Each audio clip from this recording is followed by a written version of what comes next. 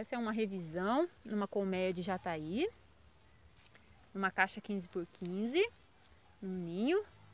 Aqui podemos notar a presença de mel, bastante mel, pólen e um disco maravilhoso que chegou em cima, ó, chegou no topo.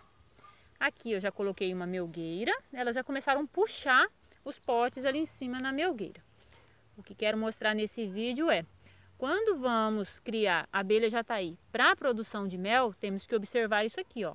Um ninho grande, forte, todo lacrado, com estoque de mel, pólen, própolis, bastante lamela. E aí, com essas características, colocamos a melgueira em cima. Tudo que produzir de mel ali em cima, eu posso tirar. Aqui não.